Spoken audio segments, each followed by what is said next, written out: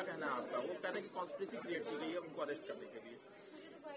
अगर conspiracy create की गई है तो इसका मतलब वो कोर्ट पे इल्ज़ाम लगा रहे हैं।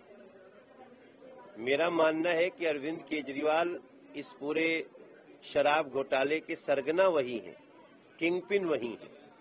और देखो, मेरे भाई बहन भ्रष्टाचारी क्या बोल रहा है, आरोपी क्या बोल रहा है, इसका कोई मतलब नहीं है।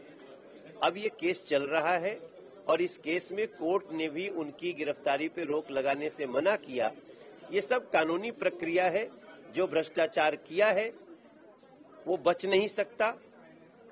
हाँ अगर कोई निर्दोष है तो उसको परेशानी भी नहीं होगी। राघव मंगूटा का नाम उन्होंने लिया है और ये कहा गया है कि प्रधानमंत्री मोदी के साथ ही उनकी तस्वीर आई है राघव मंगूटा का और दबाव बनाया गया कहीं ना कहीं। तस्वीर तो किसी की भी किसी के साथ हो सकती है। तस्वीर तो हमने भी अभी दिखाई। अरविंद केजरीवाल हमारा बाह पकड़े हुए हमारे ऊपर गिरे जा रहे हैं। तो इसका मतलब ये थोड़ी है कि अरविंद केजरीवाल जैसे ये ये है ना, ये भी ये भी तस्वीर है।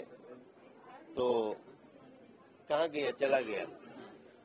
तो तस्वीर में धोखा मत खाइए।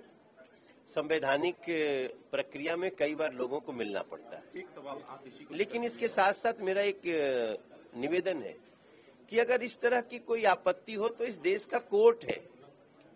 आप केवल सनसनी मत फैलाइए न्यायिक प्रक्रिया में जाइए। एक सवाल आतिशी को लेकर के भी इलेक्शन कमीशन की तरफ़ से नोटिस मिला आप ही लोगों की शिकायत थी। आ, क्या कहना इस बारे में? उन्होंने बेबुनियाद आरोप लगाया। हमने उनको चेतावनी दी।